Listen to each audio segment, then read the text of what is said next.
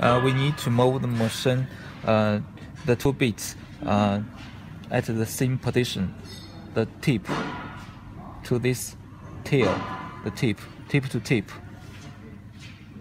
and on X direction and Z direction. So now we press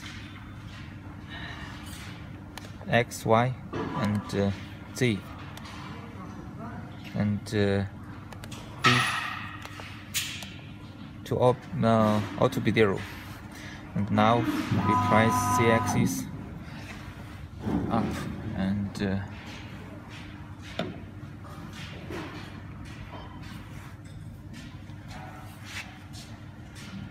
hold the material